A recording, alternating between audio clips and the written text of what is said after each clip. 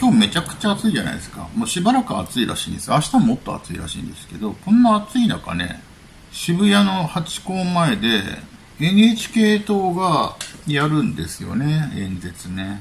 そこでガーシーカーっていうのを作ったんですか。NHK 党は参議院選では選挙区比例代表合わせて82人を両立し、全国で2%以上の得票と比例での当選者を目指すと。これでも結構厳しいと思いますけどね。さっき他の読みましたけどね。今一人だけなんですよ、参議院で一人。あの人取った票って、1万票いってないんですよ。100万票取らないと、比例で受かんないんですよね。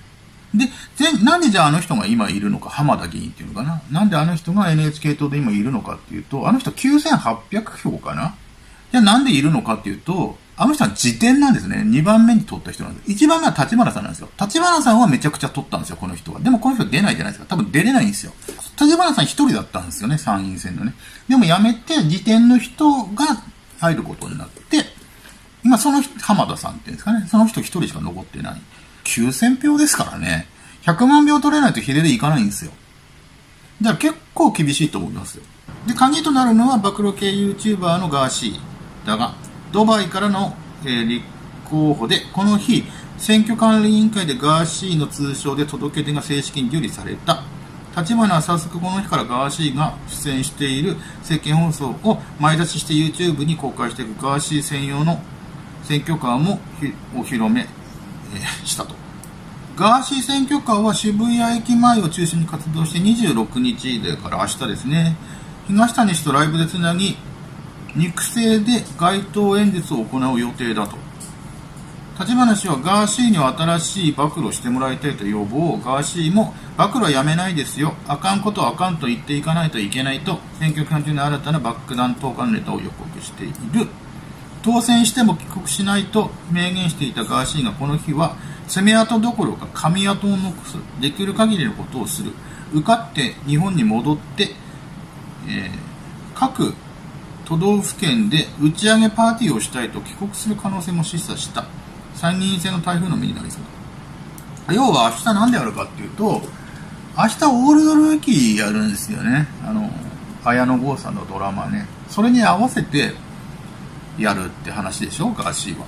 行ってもいいかなと。見た見てみようかなと思ったんですけどこれで行くとね熱中症になりますからね。ガーシーを見に行って熱中症になったって言ったらねもうねもう踏んだり蹴ったりですから、ちょっとね、やめます。で、それで、それに対してごぼうの党ってね、ごぼうの党も怪しいじゃないですか。謎の政党ごぼうの党がついに指導した。23日代表の奥野隆が、拓司か、が、東京都庁の前で演説をしたってことですね。初めて肉声で訴えた。ただガーシーのことについて言及したと。政治を花火のようにしたい。花火はお金がある人もない人も怒っている人も悲しんでいる人も笑顔になれる。みんな笑顔になれることを目指して政治をしたい。でね、両脇にはね、すごいです。ボブ・サップとピーター・アーツが陣取ってる。これ格闘技好きな人には刺さるんですけど、格闘技全く興味ない人には誰それって感じですけどね。まあ、そのごぼうの塔はね、もう何回も言ってますけど、山田孝之さんとかね、ワンオクタカとかね、ヤマピー、宮迫、ヒカル、朝倉未来、論布淳、ガクトとか怪しい人たちがね、みんなね、賛同してるってことね。ま、シークレットゲスト登場するみたいなこと言ってるのね。その演説にね、山田孝之さんとか来るんですかね。で、一方で、山田やヤマピー、そして宝はガーシー人脈として取り出されている。ガーシーといえば、芸能界の裏側を YouTube で明かす暴露系だと。実際のところ、ごぼうのと奥野さんと関係は一体どうなのか、どう思ってんのかを尋ねると。そしたら奥野さん曰く、ガーシーさん、なんかこう一部部分だけを切り取らないでねと念を伏した上で話を始めた。僕は同じ釜の飯を食った仲間のことを裏切ったりとか悪く言うのはダメなことだと思う。だって生きていく上で一番大切なのは仲間である友達だから。やっぱり何か嫌なことがあったんだと思うんですよ。でも同じ釜の飯を食った仲間のことを売ってるという行為は子供たちが真似したらダメでしょう。それはダメだと思う。まあ、苦言を呈してるね。それをね、一周一括してるわけですよ。やっちゃダメなことをやってるよ、ガーシーはと。まあ、言葉を優しく言ってますけどね。結局そういうことですよね。しかし、奥野さんはここでは終わらない。功罪があると。功の部分もあると。若い女の子が自分の体を捧げるって一番大事なことじゃないですか。それをただイケメンだから、ただ人気だか、人気者だからってことでついていってね、一晩共にして本人が傷ついたと。それが明らかになっていますけど、これが彼の言うように一つの抑止力というか、有名人の方も今回のガーシーの一件ですごく気をつけるようになるんじゃないですか。これから軽はずみなことはできないと。っていう、要は、ガーシーのいい面もあるってね。ガーシーみたいなのがいるから、芸能人も、えー、変に、やばいことしなくなる。綾野剛さんみたいにやばいことしなくなるっていう話でしょ？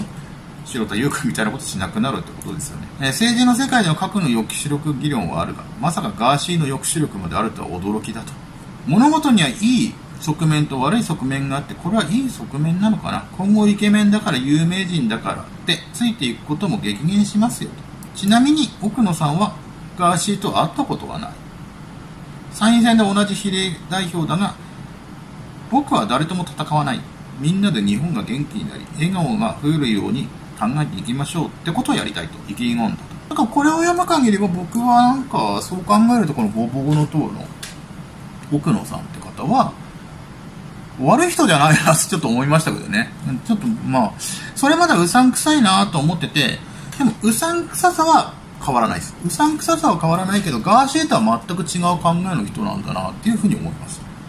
やっぱり事業を成功してる方なんだなって感じですね。いろんな意見は、意思はあるんだけど、表だっていう面は、ちょっとやっぱりガーシーほど毒がないというか、ちゃんとみんなに届くように選挙は選挙だからってやってるってことだなって感じがして、まあ、ちょっと好感が持てるなという感じがね、ありますけどね。ただ、うさんくささは抜けないですね、と思います。